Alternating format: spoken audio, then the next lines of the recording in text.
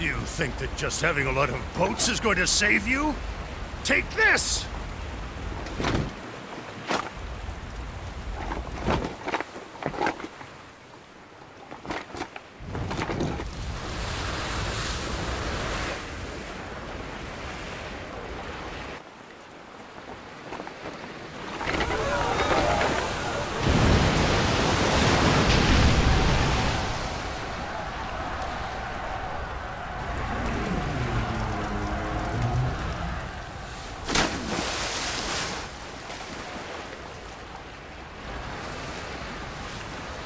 You don't stand a chance fighting against Wu, especially on the water.